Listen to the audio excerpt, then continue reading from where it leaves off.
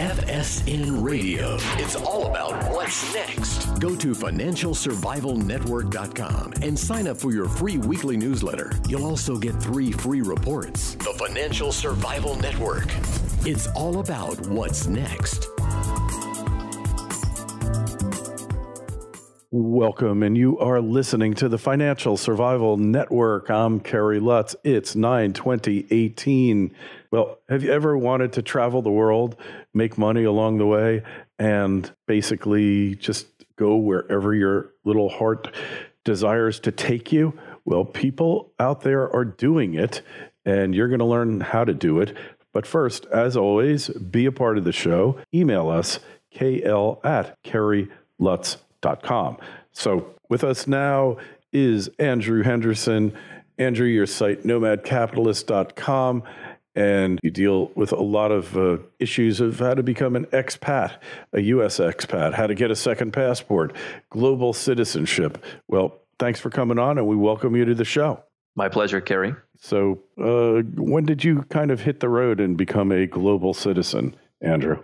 Well, it's been a lifelong process. I like to say I've been I've been working up to this my entire life. Um, what I talk about in my book, Nomad Capitalist, is is the story of how my father introduced "Go where you're treated best" to me at a very young age, and I ruminated over that as a kid, and I wanted to live overseas. Uh, but what I did uh, when I first uh, became an adult was I just decided to stay in the U.S. and build a business and I kept doing that for a while. But eventually, uh, it's been about 11 years now that I'm slowly and steadily traveling more before finally uh, leaving uh, about a half a dozen years ago, uh, seven years ago, perhaps now. To say for most, if not all the time, I'm out of the United States. I'm living in other countries. I'm enjoying the benefits of that, and um, it's been more and more ever since then. in 25 to 30 countries a year, although trying to scale back and um, it's been a long process of finding out you know where is your home in the world? Because there are other homes. And so where is your home?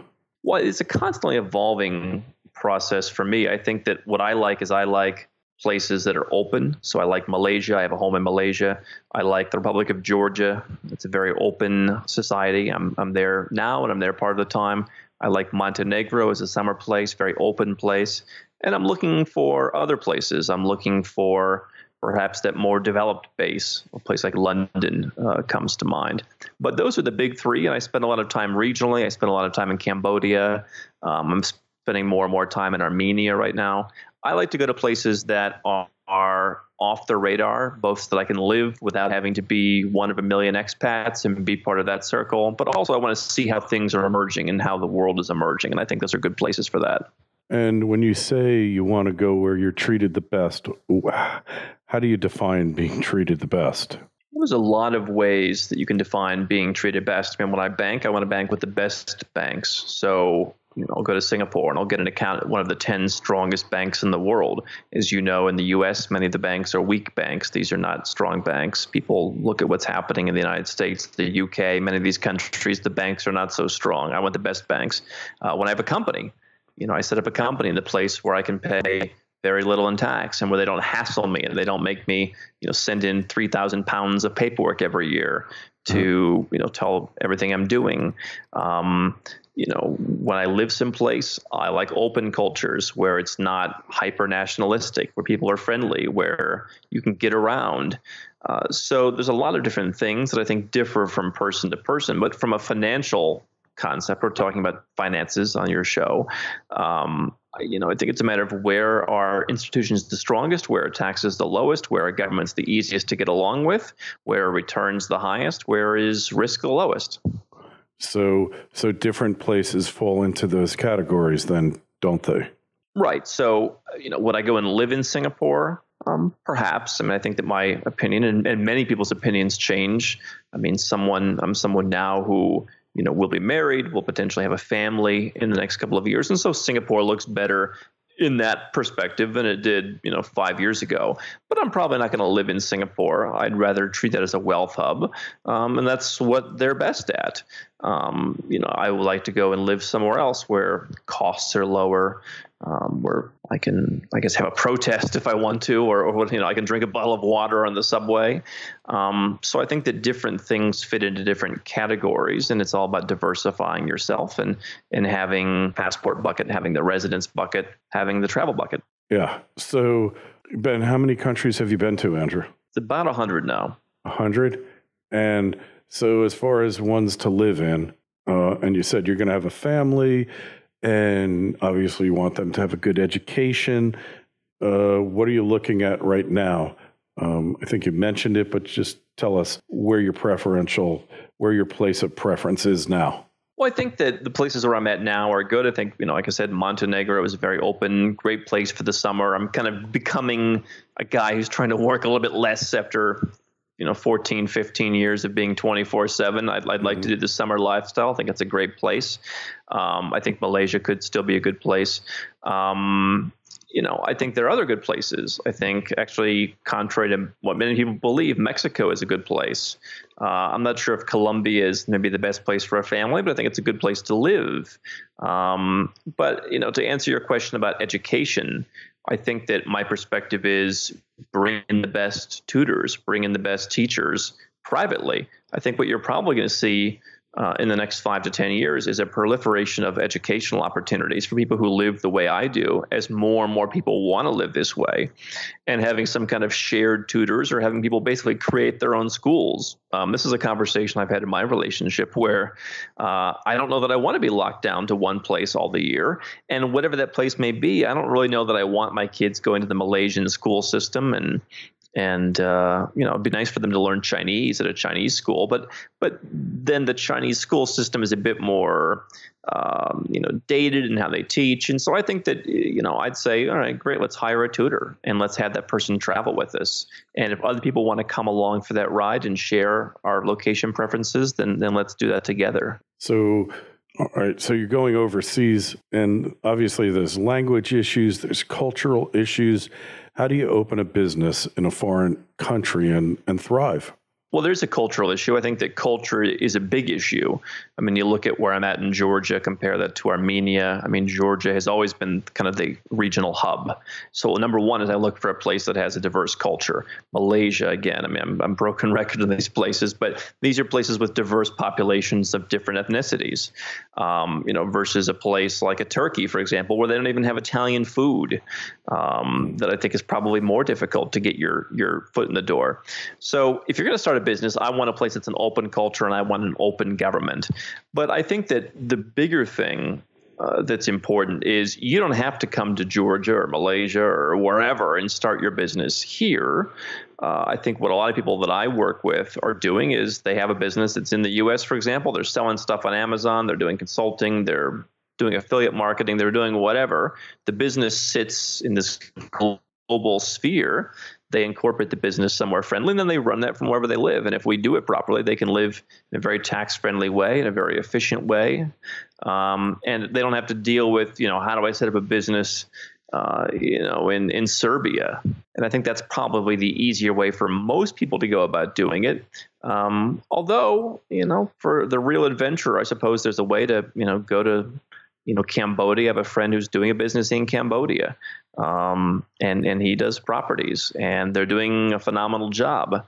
And I think it's just a matter of telling yourself you're going to do it and and making it happen and learning how things work and pushing your way through and i think that's the same you do with any other business except the opportunities are much higher but for most people i think it's better to have something that sits on the global level right so you know without uh, not having a family uh, it was easier to do it. What if you have a family?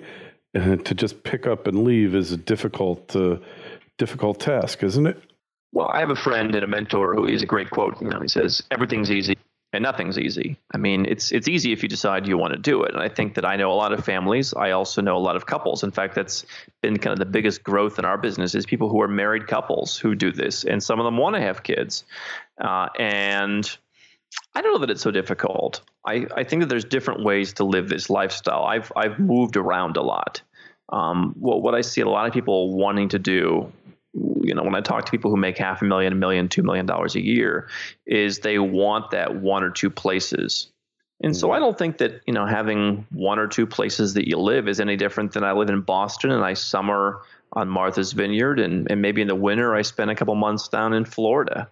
Um, I don't see the big difference, and I think that what people get caught up on is these kind of these fictional lines, these borders, where somehow you know moving from California to Florida to save on taxes is a smart thing. But what's really different from moving to California to Mexico or to Panama or to while you're doing it, you know, Malta or Malaysia? I mean, what's the real difference? I mean, more people speak English in the city center of Kuala Lumpur than in many parts of Miami. So I think that when you really break it down, you can create a way of living like this that works for you, whether you have a wife or husband or, or even kids. Mm-hmm. So, what obviously you help people do this. Uh, what do you help people do? What do you do exactly? Well, there's a couple areas that I think people, when they want to go all in, look at. There's the financial area how do I reduce my tax? Where do I put my company? Where do I put my investments? Where do I put everything I'm making money from? How do I get that to be tax friendly? Where am I putting my assets so I'm diverse? Mm-hmm. I, you know, protecting my assets. That's the financial part. Then there's the residence and citizenship part.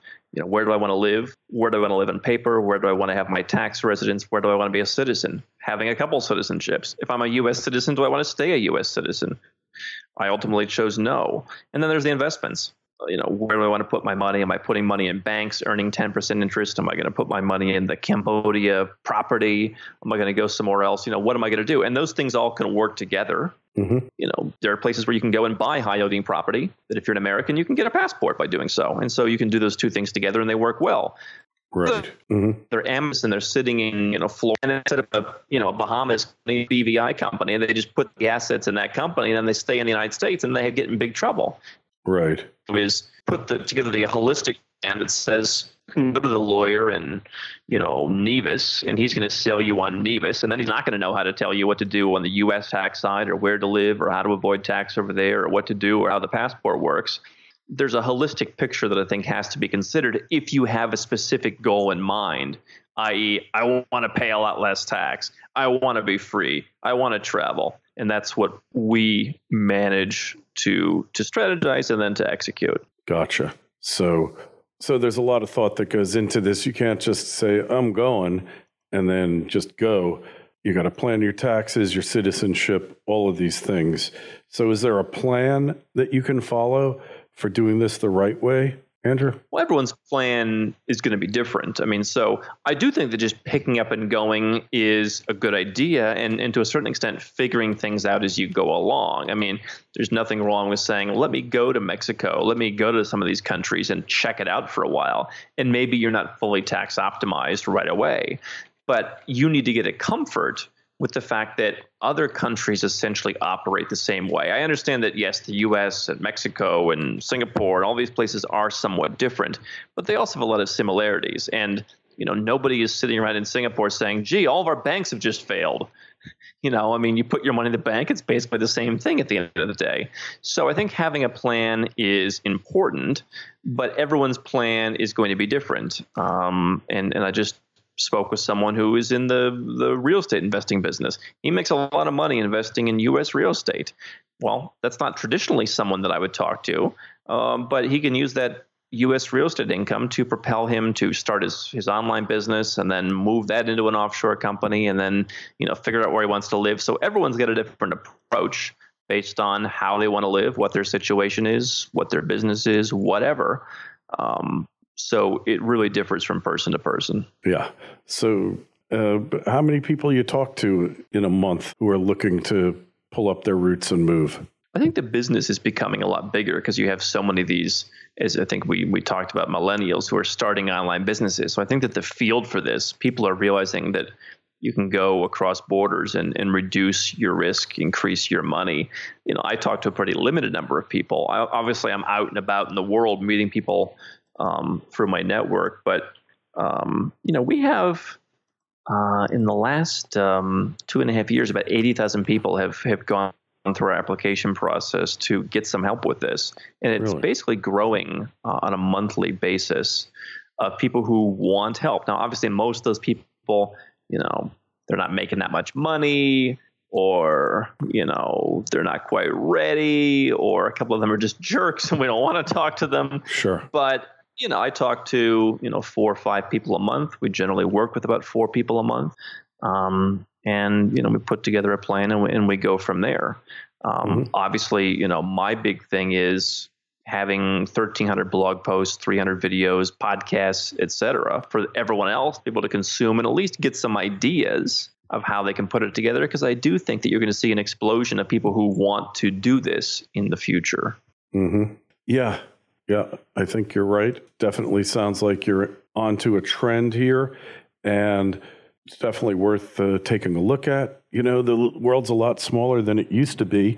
The thought of living overseas was only a dream that could be realized by a relatively small percentage of people, like well under 1%.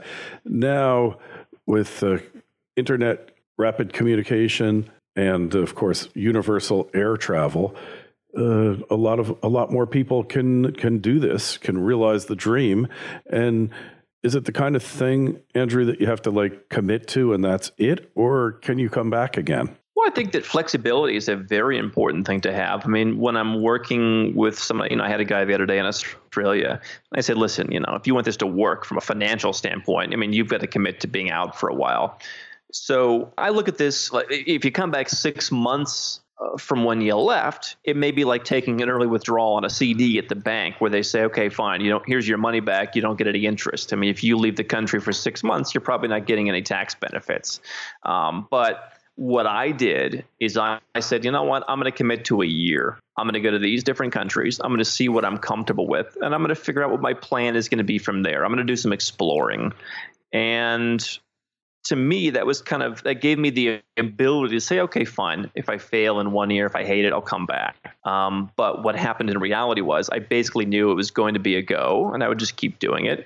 And I think that you know if you allow yourself that opportunity to come back without making it look like you failed, then, then that's fine. Mm-hmm. I also think that there are plenty of people, Kerry, who just say, you know what? Let me get comfortable on the financial side first. Let me go to Singapore or Georgia and open a bank account and move 10 grand into that account and see how I feel about it. And, you know, if three months later your money's still there and you feel okay about it, maybe you do the next step. Maybe you go and buy a house somewhere. Maybe you go and do a property. Maybe for you, leaving physically is the last step so again, everyone has their own objectives. I think whatever it takes for you to get comfortable is important so that hopefully you can give yourself that early exit possibility. But I think most people I know end finding it's much more comfortable than they imagined. Yeah, very interesting. And I like the concept. And you always need to be flexible, ready to try new things, do new ways you know, have new ways of doing business and of living. Hey, people want to find out more about you, what you're doing, Andrew. Where's the best place to find you? nomadcapitalist.com is the website. We've got all the resources there. Uh, we're also on YouTube. We also have the book called Nomad Capitalist on Amazon. That's a good 270 page kind of intro guide I think what's important, Kerry, is I mean, nobody can just give you a plan on the radio. Nobody can give you a plan in a book. I mean, it has to be what are you looking to accomplish? And there's some hard questions that you're going to have to answer and be really honest with yourself. But these are the resources that can help you at least know what's involved. And for, for people who are saying, hey, I already have that business, I'm already making a million bucks a year, what do I do? If you go to nomadcapitalist.com, you can click the, the button and, and get some help too. Very interesting. Well, as always, uh, the Link to Andrew's site is in the show notes to this interview on financialsurvivalnetwork.com. Hey, the again, we ask you to email us with any questions or comments and be a part of the show. And the Twitter feed is at Kerry Lutz, Facebook page Financial Survival Network. Andrew, thanks so much for coming on and uh, good luck on your continued journey. My pleasure to be with you, sir. FSN Radio. It's all about what's next. Go to financialsurvivalnetwork.com and sign up for your free weekly newsletter. You'll also get three free reports. The Financial Survival Network. It's all about what's next.